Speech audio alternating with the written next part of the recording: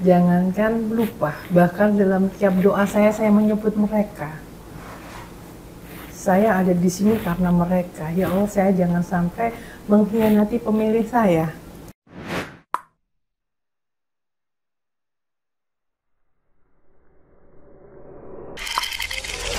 Assalamualaikum warahmatullahi wabarakatuh.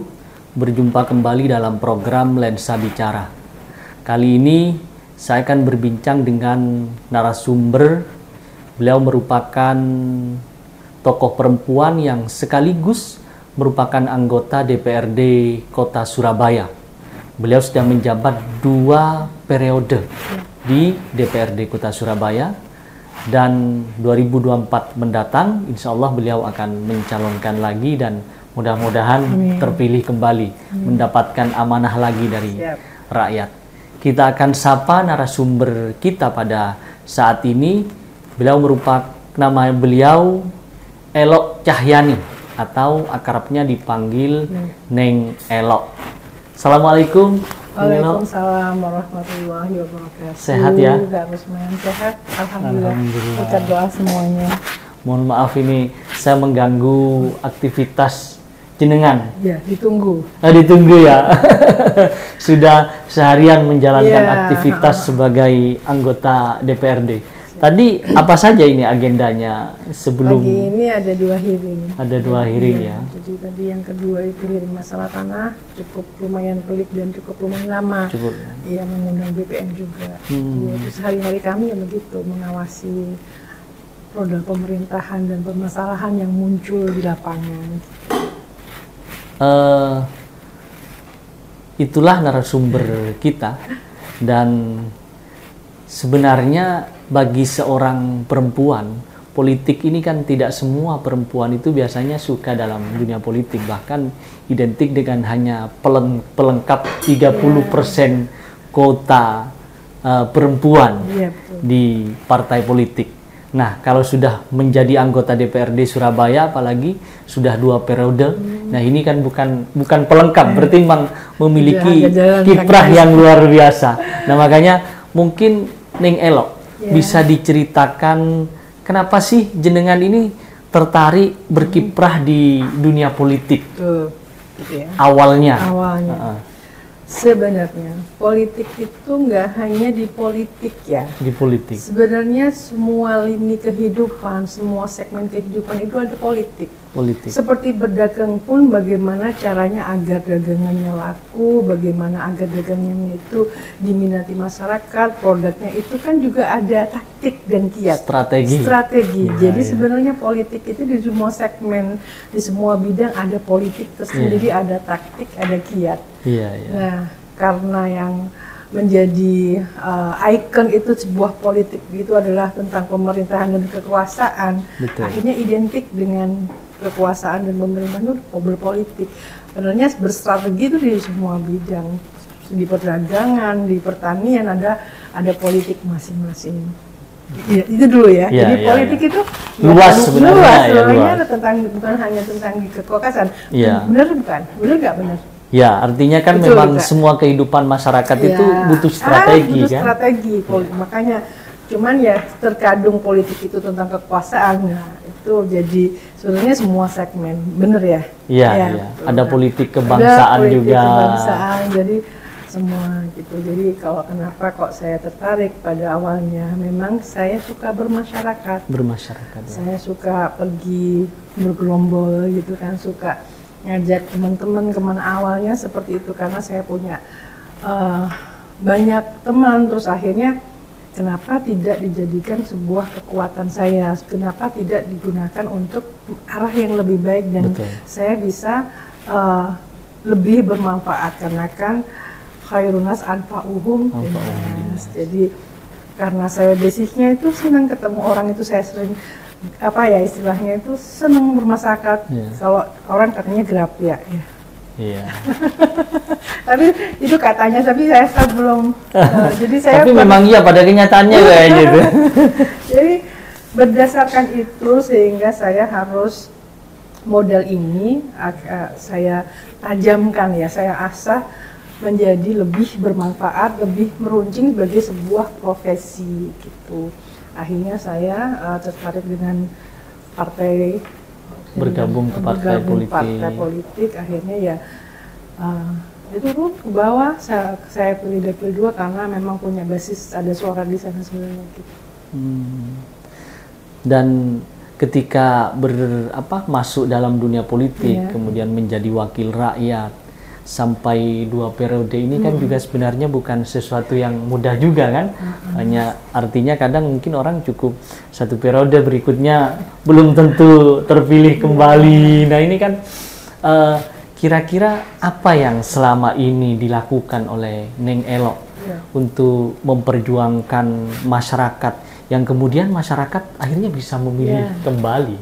Sebenarnya saya mau menyampaikan peran serta tangan Tuhan sangat ya. oh iya iya Jadi saya itu Ada garis Tuhan ya? Ada garis Tuhan. Jadi peran peran tangan Tuhan sangat berpengaruh ya. Jadi Hmm. ini enggak karena politik ini nggak bisa diambil.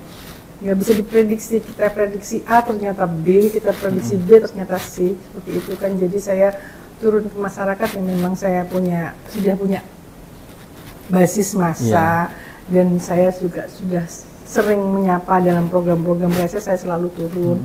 Jadi nama saya memang cukup dikenal sehingga dalam garis takdir ketika lewat itu sejalan gitu loh. Jadi saya juga turun garis takdir ada jadi nggak nggak ini ya nggak bersinkron nggak nggak berlawanan se- sejalan.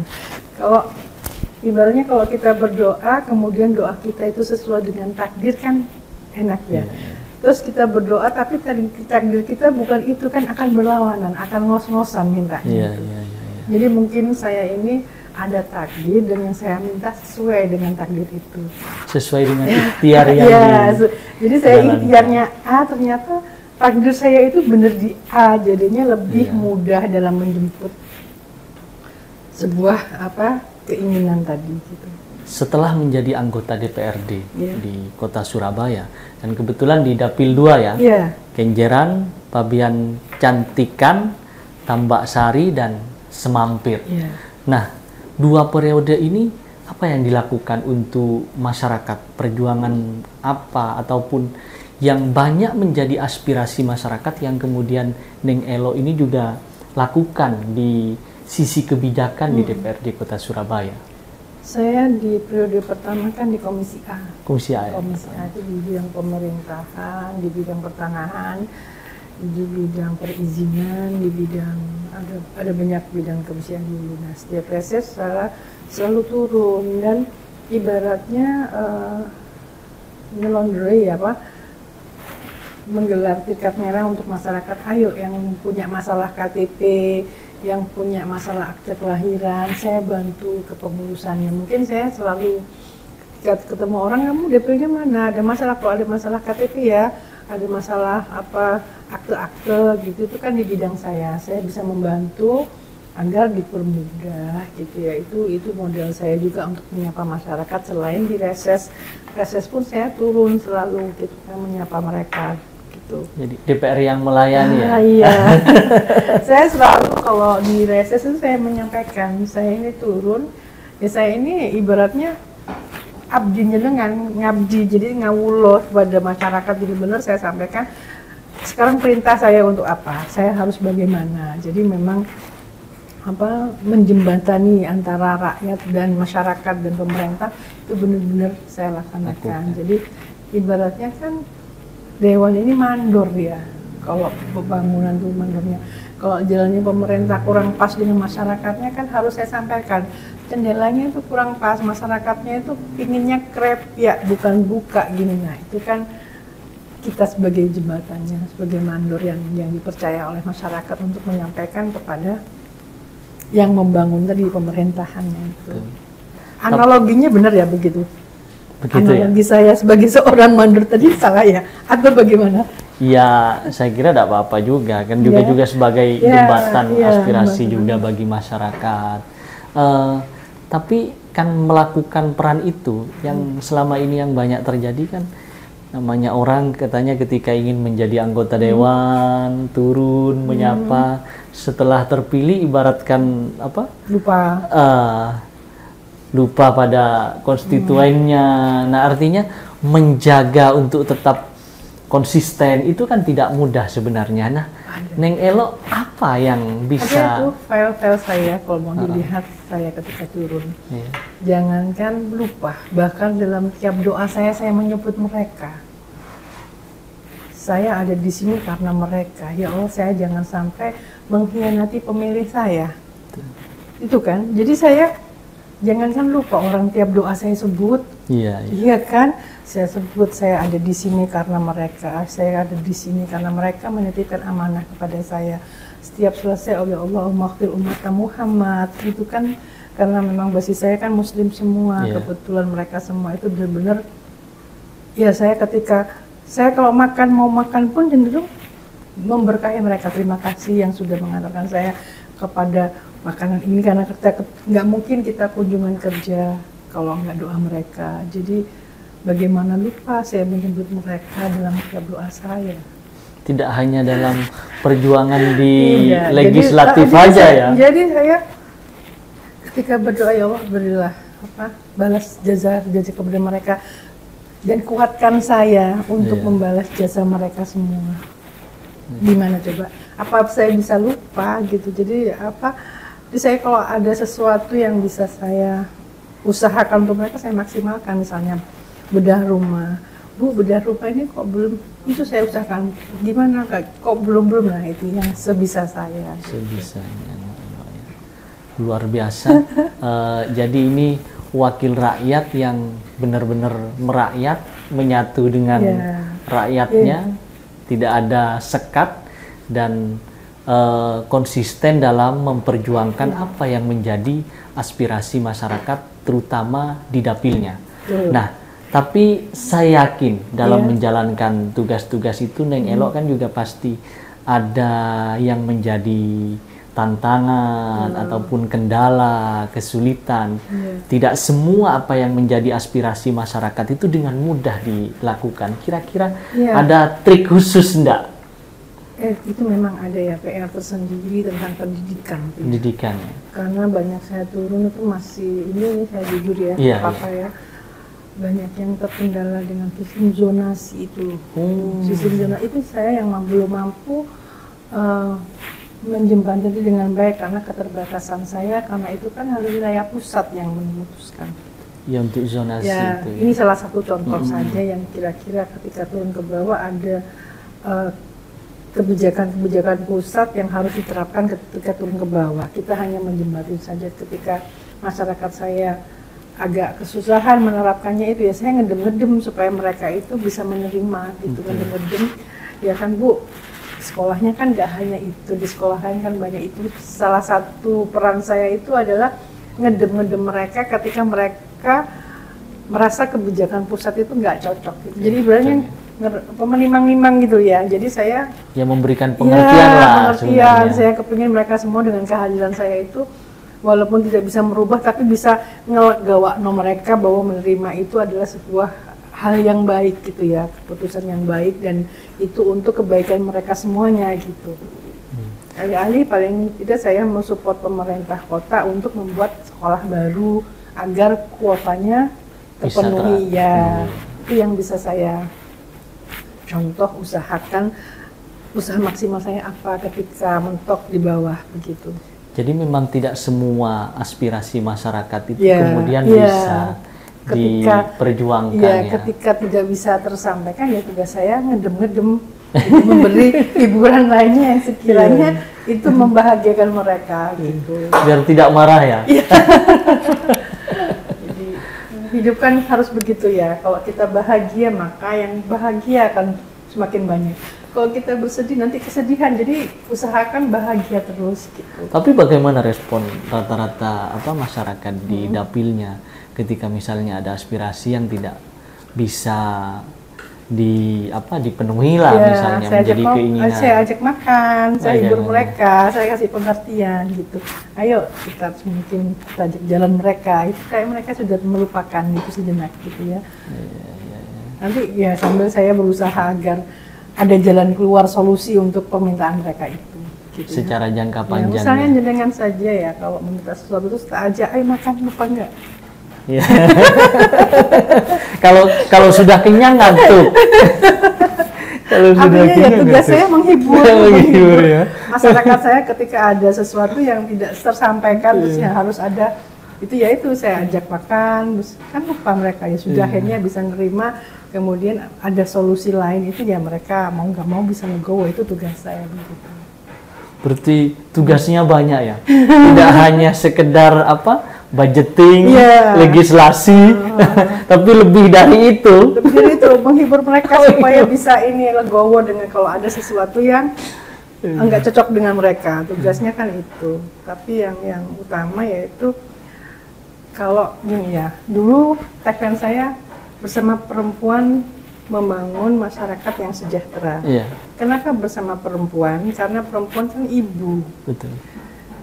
Itu salah satu pesan ibu. Kalau sudah dari ibu, istri, kan perempuan. Jadi saya itu berusaha bagaimana masyarakat Surabaya itu ketika pergi keluar bekerja, seorang ayah itu dengan perasaan bahagia. Hmm. Itu kan jadi seorang ibu. Jadi kalau di rumah mereka keluar bahagia, nanti kan dia bekerjanya enak, ada masalah dia terselesaikan karena keluar dengan Bahagia. bahagia. Tapi kalau coba istrinya cemberut, Keluar rumah. apa? keluar rumah sudah sumpek, bagaimana pekerjaannya bisa terselesaikan dengan baik, gitu Iya, kan? iya. Jadi saya merangkul ibu-ibu supaya legowo dengan apa pun menerima, ya itu menerima yang yang ada Yang gitu ada. kan. Kita syukuri karena mensyukur mengundang nikmat itu siar-siar saya seperti itu siar-siar saya itu adalah memperbesar rasa syukur tetap bahagia di segala kondisi saya. Bagaimana membersamai ibu-ibu ibu itu yang harus bisa mensemangati suaminya kalau suaminya pekerja kalau sua- istrinya juga bekerja. Bagaimana dia juga mencintai pekerjaan itu? Kan kan kalau kita bekerja kita cinta dengan pekerjaan ini itu Pasti enak. ada rasa enjoy, senang. iya, ya. cintai di pekerjaan seperti ya saya mencintai pekerjaan saya. Akhirnya kan tiap hari happy. Jadi bukan adu sesuatu yang bertabrakan berseberangan itu kan yang membuat nggak enjoy. Kalau kita sudah mencintai pekerjaan ini, mencintai situasi ini, enak saja kan semuanya. Dan enak ya jadi anggota DPRD selama dua periode ya. Itu tadi tangan Tuhan itu tangan Tuhan, berperan ya. gitu. Ah, jadi, iya, jadi, iya. jadi saya eh, ditanya rahasianya apa, nggak ada sebenarnya. Karena itu ada campur tangan Tuhan sebenarnya semuanya itu gitu. Bekerjanya mengalir saja ya. Mengalir, penuh cinta, tetap menyebarkan hal baik itu sih. Jadi semesta ini kan malaikat, biar catat malaikat dalam komputer raksasanya, Iya, iya, iya. iya kan? Tapi selama dua periode Mhm. menjadi anggota DPRD, kan pasti juga ada apa ya, ada suka dukanya juga kan, Mhm. ada hal yang tidak disukai mungkin dalam aktivitasnya juga, yang kemudian menjadi kendala juga Iya, jadi iya. bagi da- apa bagi jenengan. Iya, kalau- Pernah mengalami seperti itu juga. Periode lalu hal yang nggak enak karena harus pergi ya, karena harus banyak kunker, Oh. meninggalkan keluarga. Itu hal yang bagi saya meninggalkan keluarga, kunjungan kerja itu hal yang kurang kurang nyaman ya. Karena kan saya kan seorang ibu ya, Iya, iya, jadi kalau meninggalkan anak, meninggalkan keluarga itu hal yang tapi dengan adanya covid ini jadi berkah. Iya, lebih banyak di rumah ya Nah, selama itu, covid ini itu, ya. itu saja sih bagi saya hal yang kurang nyaman ya karena waktu tersita nggak ada untuk waktu keluarga sehingga saya empat hari kadang gitu kan yang periode lalu nah sekarang ini saya kata saya boleh dibilang nggak ada hal yang tidak suka insya Allah saya sekarang mencintai karena saya bisa berbuat untuk masyarakat saya saya bisa berbuat untuk keluarga saya dan saya bisa berbuat untuk orang-orang yang saya cintai dan orang terdekat saya Iya. Gitu ya. Eh, itulah perbincangan kita dan saya kira juga masih banyak nanti kita masih ngobrol-ngobrol Iya. lagi sama Neng Elo. Eh, selam menjadi anggota DPRD Surabaya, kira-kira apa sih yang sampai saat ini menjadi obsesi jenengan? Misalnya entah ada persoalan masyarakat yang benar-benar urgen yang diperjuangkan atau seperti apa di DPRD itu? Iya. Rasulullah diutus diutamakan makarimah akhlak ya. Makarimah Tujuan saya ya sesuai dengan Rasulullah semakin meningkatkan sumber daya manusia. manusia Iya kan? di kota Surabaya. Iya. Jadi semakin karena tantangan zaman itu kan teknologi semakin tinggi saya ya bagaimana membersamai masyarakat ini agar tidak ketinggalan dia bisa berteknologi tanpa meninggalkan akhlak yang baik tetap seperti kan mudah disalahgunakan ya kalau teknologi kayak itu sih jadi bagaimana masyarakat ini sumber dayanya meningkat dan akhlaknya tetap terjaga gitu karena apalagi Surabaya Iya. m- apa belum belum lama ini kan ada fenomena gangster Nah, anak-anak itu itu karena itu kurang kasih sayang dari rumah ya kan. Iya, iya. Kalau seandainya anak-anak tersebut mendapatkan kasih sayang yang cukup dari ibu apa mungkin begitu. Tapi kan kita tanya ibunya siapa itu. Iya. Pasti mereka yang jauh dari keluarga.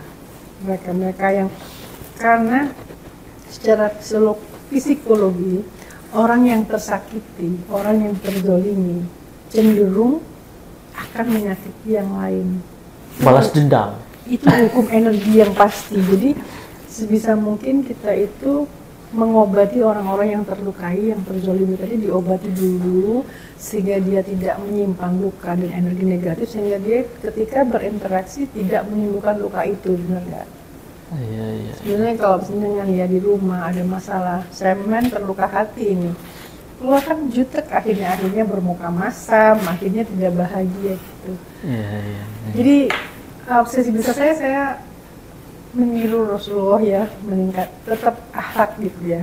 Bagaimana orang tetap berakhlak baik dengan se- segala apa tantangan zaman yang ada. dengan segala gitu. kondisinya Dengan apa ya? Dengan diri saya dulu, diri saya dulu dan keluarga saya menampilkan hal baik dan sekitar saya, orang yang saya datangi, saya tularkan bagaimana gitu. kalau tantangan soal membagi waktu Pembangunan. Ah, kar- enggak, karena jenengan kan politisi Saya perempuan jomblo ya waktu saya untuk masyarakat Oh, iya. minimal untuk anak Nggak ada yang tanya, nggak ada yang ngecek HP, nggak ada yang apa ngecek dia di mana, tapi ya Insya Allah anak saya sudah cukup support saya. Jadi kalau ditanya waktu saya waktu lebih Hmm, luas lebih untuk yang- masyarakat iya. saat ini ya. nggak usah dijelaskan. Dan ini apa? eh, saya nggak malu menyampaikan ini karena saya sudah apa ya waktu saya memang untuk masyarakat, Untuk gitu ya masyarakat. mungkin tak- takdir saya tangan Tuhan karena saya bisa mungkin dirasa mampu tadi jadi saya nggak ada masalah dengan membagi waktu Tidak ada masalah. jadi kan tujuannya membagi waktu bagaimana Ah. dengan keluarga sudah Iya, saya iya. jawab ya nggak ada yang ngecek HP Apa- nggak ada yang apalagi sekarang gimana. tapi kan sekarang apa semenjak covid Hmm. katanya kan lebih banyak uh, minimal lebih banyak di Surabaya Iya, ya bisa lebih banyak di Surabaya quality time banyak dengan Iya. keluarga saya, ayah saya, anak saya Iya, gitu ya kan. Iya. kan itu kan juga bagian dari Iya. bagaimana memporsikan waktu untuk Iya. masyarakat dan juga dengan keluarga Mas Rusman saja sekarang dengan saya merasa happy nggak? ya ini sudah dari tadi ini senyum-senyum sudah ketawa-ketawa terus ini Nah, itu jadinya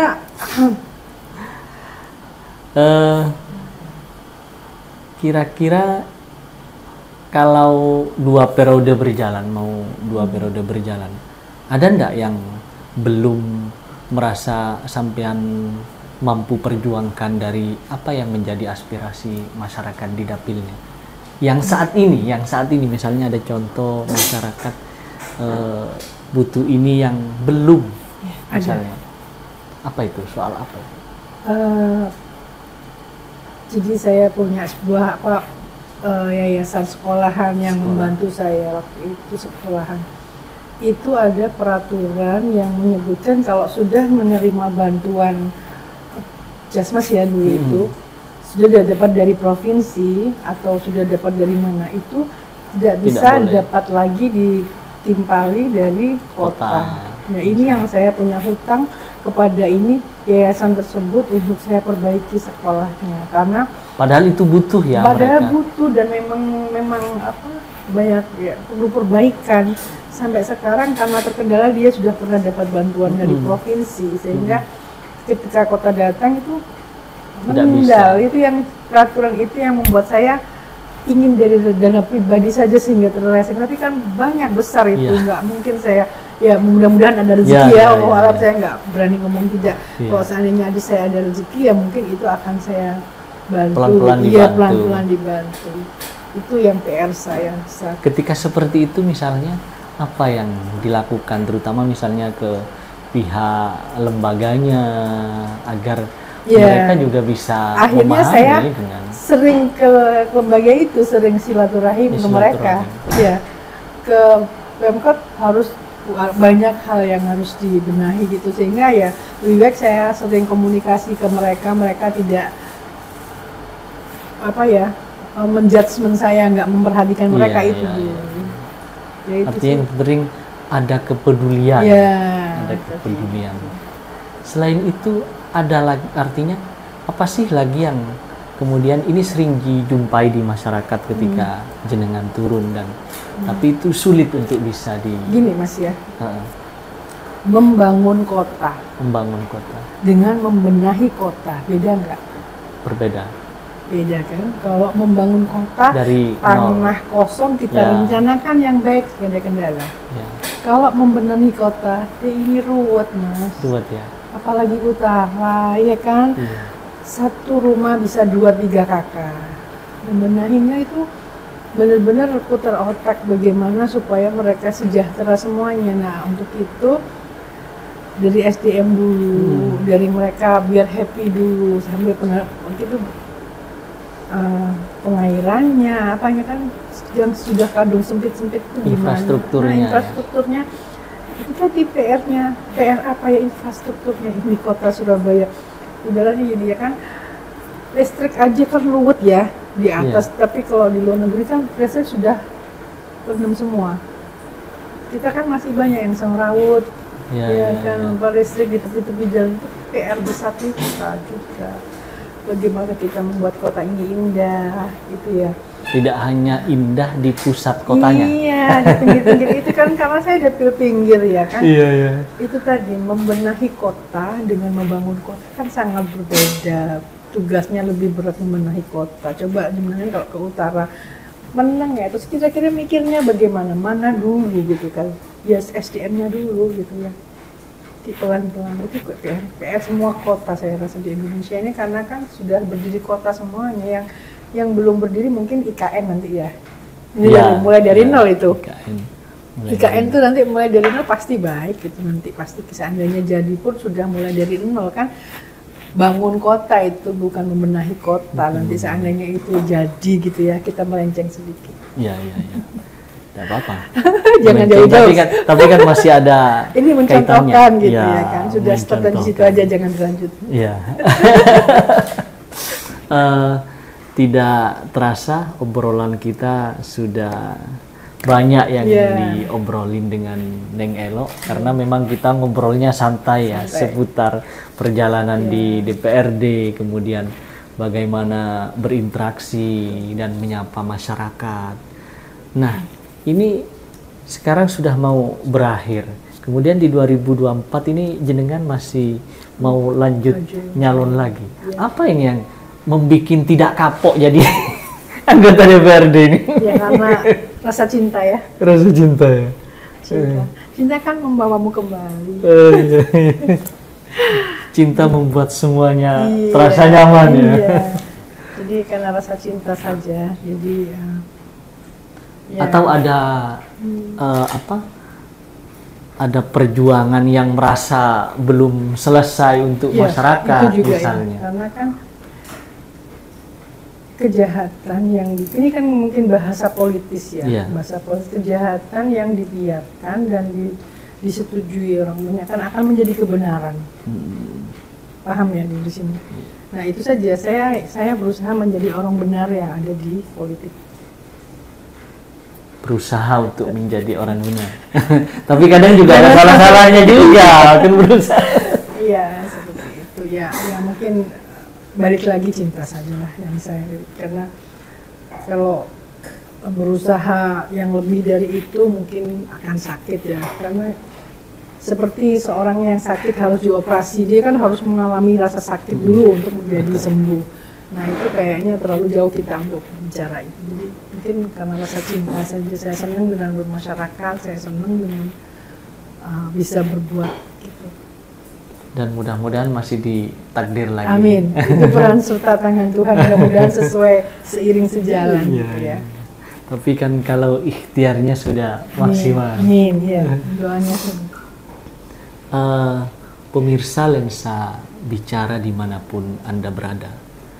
Obrolan kita dengan Neng Elok eh, ada banyak hal sudah yang kita obrolkan minimal ini menimba pengalaman, ya, menimba siap, pengalaman dari beliau bagaimana berkiprah di dunia politik yang sebenarnya tidak mudah ya. tidak mudah untuk dilakukan oleh semua orang, apalagi misalnya perempuan di DPRD Kota Surabaya saja mungkin banyak enggak Ada ada perempuannya? 17, 17 banyak ya. wah, 17 itu termasuk Luar biasa. luar biasa ya, Iya, dari iya. 50 Iya, anggota DPRD ya.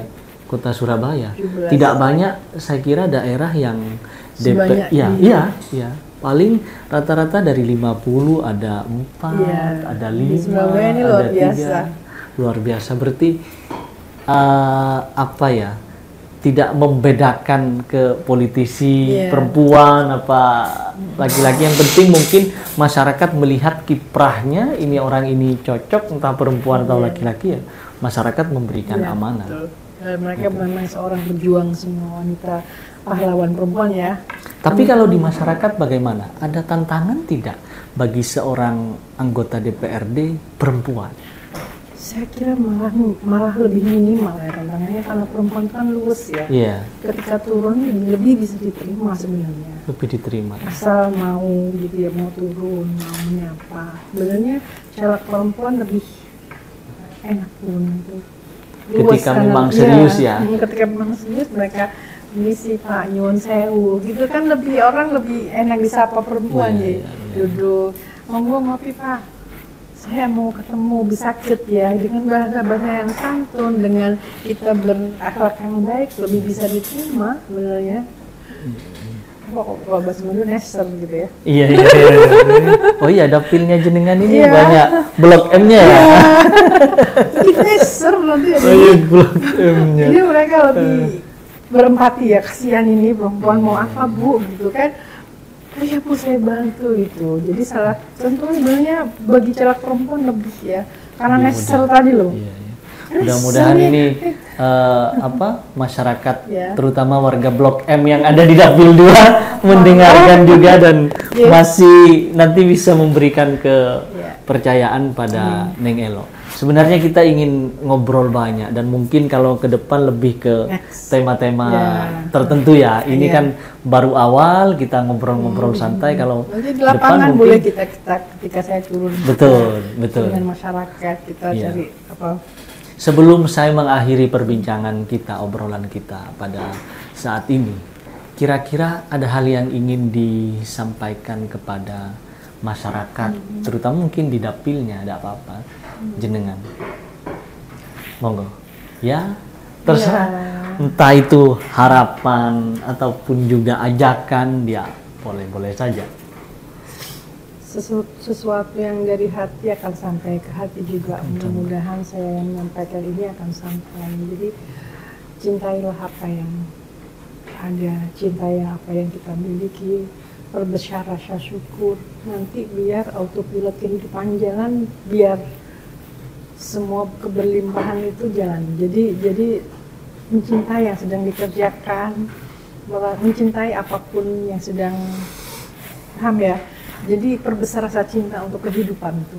Jadi jadi bisa menjiwai. Jadi ketika kita berkehidupan dengan baik kita perbesar apa yang kita miliki itu benar-benar kita syukuri. Nanti itu kalau sudah terakumulasi dari suatu rumah tangga kemudian pada suatu masyarakat dari masyarakat dari suatu negara bagaimana itu energi yang luar biasa syukur nanti ada mengundang keajaiban-keajaiban. Jadi sehingga otomatis kalau rasa cinta itu kan pasti hal-hal baik yang ditimbulkan nanti akan berakhlak baik nanti beli- dia berpendidikan pun bisa cerdas gitu ya jadi saya rasa saya pesan saya cintailah apa yang dimiliki cintailah apa yang dikerjakan dan dan lakukanlah dengan rasa cinta Dengan rasa cinta. ya Kalau sudah dengan rasa cinta semuanya Iya. Mm. akan menjadi Indah. indah ya.